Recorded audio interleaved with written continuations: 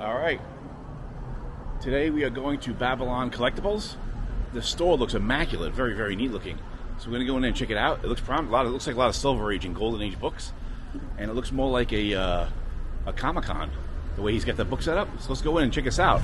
This is gonna be a nice shop.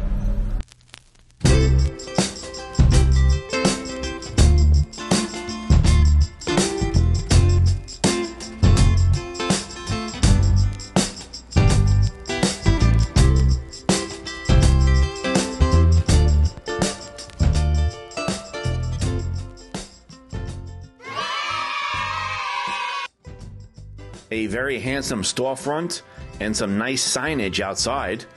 And as we enter here, it is a beautiful space, nice and wide open.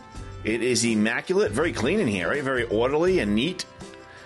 And along the right side of the wall, I see a bunch of uh, wall books, like at Comic Con. There's lamps lighting them up.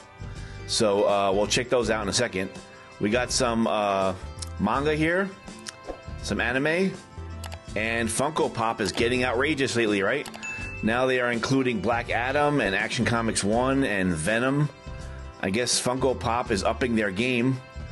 And uh, the presentation now is including the comic books. And here is the reprint Action Comics 1, First Brand Superman. You thought it was a lot of money, but it's only six bucks. You can grab a 9.8. All right, and then we have all the newer comics here on the front. He's got the big two up front here. This looks like a, uh, and then on the tables laid out, very nice. He's got all the newer comics as well. Nice House on the Lake, Superman, um, and on the right, so the three or four tables, he's got the newer comics showcased with the thing with a statue in the middle. Right, really nice presentation. And he's got new books on the wall, and then he's got indies in the back. And here is the Sean Murphy Beyond the White Knight. It's cover B. Beautiful cover, right? Of Harley. And he's got some statues, statuettes. He's got back issues, Funko Pop. He's got more books laid out here. He's got a bunch of trade paperbacks. And here's the wall I was talking about. It's like a Comic Con. He has lamps faced on the books, just like when you go to a con. The lights are on them, showcasing them. And they're all in the Mylars with the thick cardboard uh, backing. Very cool. Bunch of Avengers books here. Some copper uh, X Men, Wolverine and Saber fighting it out over there. Sabretooth. All right. The old school Avengers uh, trade dress is awesome, right? That Silver Age Avengers trade dress is so cool looking. It's kind of relaxed and very thin, the lettering. And we have the Dark Phoenix Saga, X Men. We got some Moon Knight, She Hulk 1. Got old school Batman book here. He's got some great books.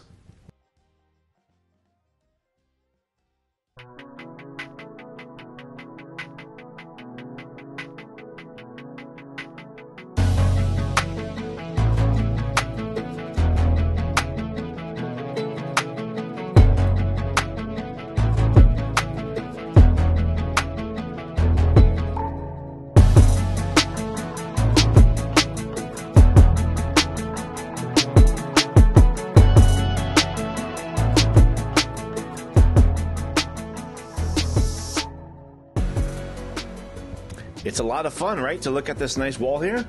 Check out all the books. He's got a lot of DC represented here. And we have, um, looks like the first Silver Age Shazam down there. And we got some uh, long boxes here with some Spidey.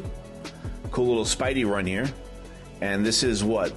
In the hundreds? Is this the uh, Buscema Spidey? That's a great cover there, right? With Mysterio. And here is there's a little She-Hulk on the right there, but here's a nice run of uh, Spidey here, and these books look like they're in great shape. Do it! Do it! And I might dig through some of these boxes. Right, I know you guys like to see the back issues, so maybe we'll go through some of these boxes to see what's in here. Boom. And there are some new indie books in the back. I want to check those out too. I came in here to grab something. I was going to look at the Star Wars, the new Star Wars books, and there was a couple of other new indies I wanted to look at. All right, here we go. Here's Wonder Girl, and here is the Silver Age Shazam right here, right? This is like it's mint, right? That was legitness. And we have a bunch of uh, X Men and Moon Knight as the uh, Dark Phoenix.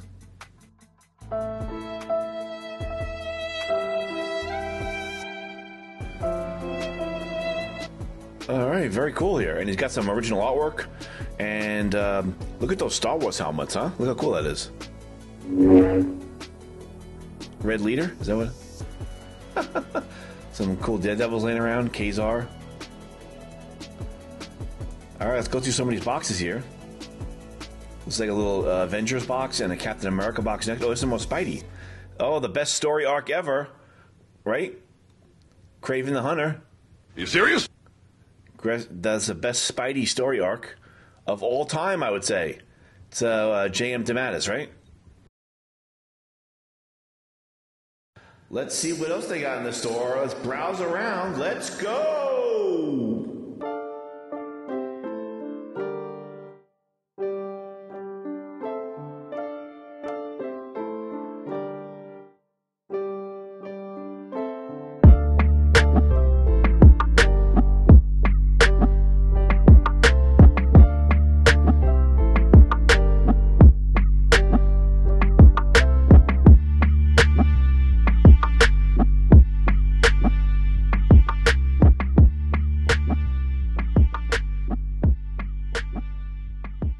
These are more wall books behind the counter, right behind the register. He's got more wall books. Knock, knock! And he's got the uh, first Namor, right?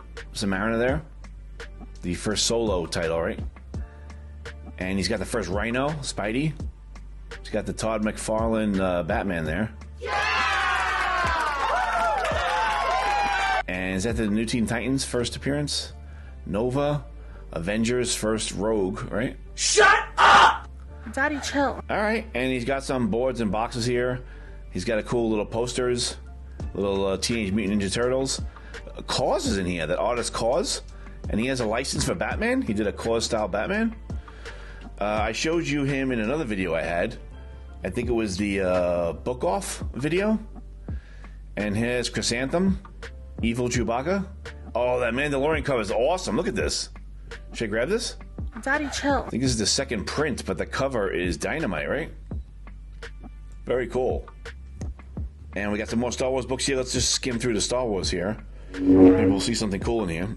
The Obi Wan has a new solo title out now. So uncivilized.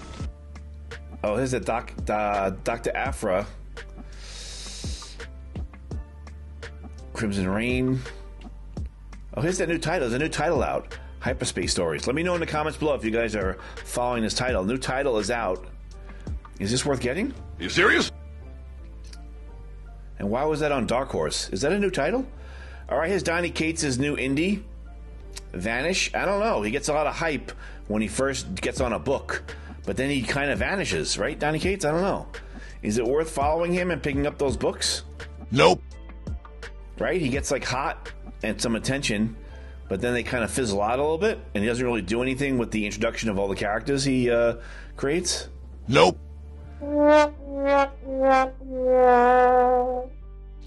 Oh, brother, this guy stinks! And these are the indies back here on the left of me.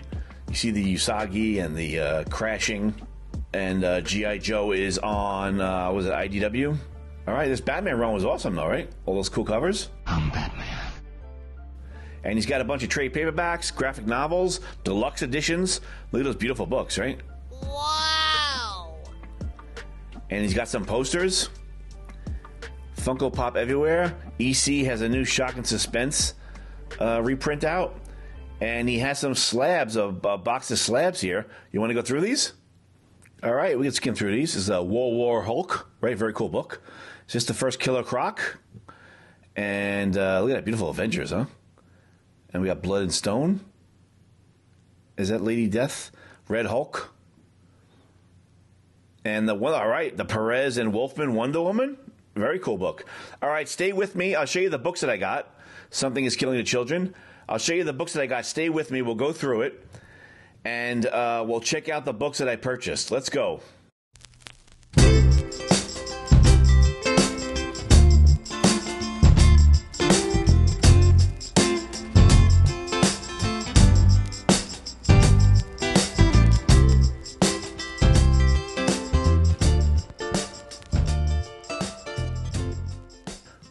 Right, that Mandalorian cover was awesome. That is a second printing on the left. I grabbed it uh, just for the cover. I thought it was so cool. And on the right, Hyperspace Stories is a new title. There's a new title out on Star Wars. It is Dark Horse. It's an all ages book. And there is another Dark Horse title coming out, uh, Tales from the Rancor Pit. So keep an eye out for that. I think it's coming out next month or in two months. Uh, the store threw in this Frank Miller here, Frank Miller Ashcan.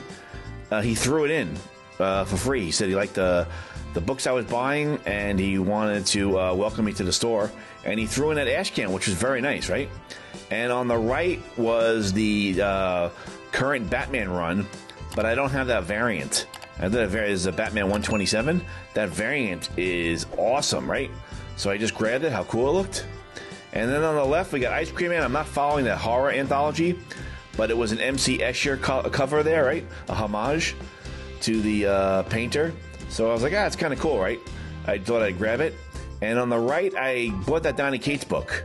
Uh, the Donny Cates stuff is pretty good. The Hulk and the Thor and the Venom was really good. Um, so I guess I'll grab this Vanish. I'll see where it goes, give it a shot. But like I said, he's been kind of fizzling out a little bit, right? He starts off really hot, introduces a lot of characters, but then he doesn't do a lot with the characters. So I don't know. Let me know if you guys are uh, hanging with him there. Now we got Action Comics number one, first appearance of Superman, and this saying is a million dollar book. But if you go to your LCS, it's only six bucks and it's mint. It's a nine eight. And on the left, we got Stuff of Nightmares. This is an R.L. Stine book. He is the uh, creator of Goosebumps, right? He's got a new comic out. So maybe I'll grab that. I think this is an anthology. I think there's three stories in here. So I'll grab his new comic book out. I'll see what's going on there. A little horror anthology. Let's see how many books we got. We got two, four, Boom. six, Do it. Do it. eight. Bruh. Daddy, chill. All right, I got eight books. Let me know if I missed anything. If that's your LCS, let us know in the comments below if I missed anything. If that store is famous or something and I overlooked it. Uh, if not, uh, thank you guys so much for watching. You don't have to go home, but you can stay here. Thank you so much for watching. Check out my other videos. I will see you next time. Daddy, chill.